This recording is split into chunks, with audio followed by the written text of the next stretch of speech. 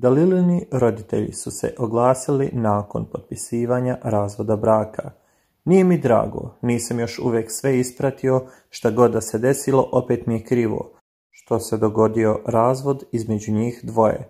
Šta ja tu sad mogu da poručim? Ništa, kaže Mujo. Dok Dalilina majka Emina ističe. Vidjela sam što se dogodilo. Život je pred njima, a papir kao papir ništa ne znači. Neka je Đedović učestvovao u ovom i nadam se da su sad svi srećni i zadovoljni. Naravno i Rešićeva koja grli Dejana, ono kao podrška, a ovamo hm. Neka se slađe tuđom nesrećom, ali opet kažem da papir koliko je validan, toliko i nije.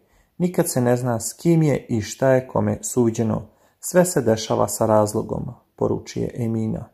Šta vi mislite? Da li je Dalilina majka Emina u pravu ili ne?